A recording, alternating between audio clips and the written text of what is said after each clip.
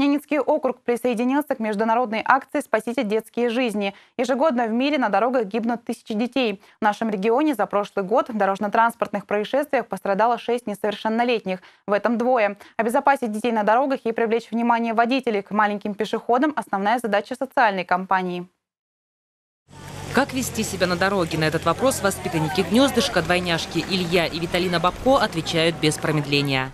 Скорее всего, нужно переходить, когда горит светофор или где, где пешеходный переход. А еще это можно назвать зебра.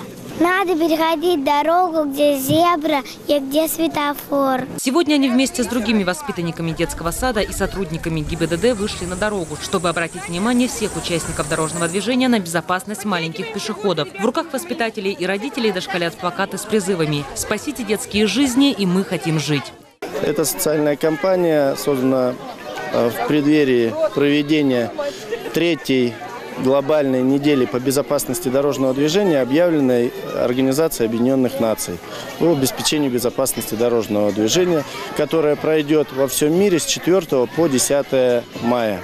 Неделя посвящена безопасности не только детей, но и молодежи. По статистике, в ДТП ежегодно погибает около миллиона людей в возрасте от 10 до 24 лет. Главные факторы риска – неиспользование шлемов и ремней безопасности, вождение в нетрезвом состоянии, несоблюдение скоростного режима, несоответствие нормам дорожного покрытия и инфраструктуры.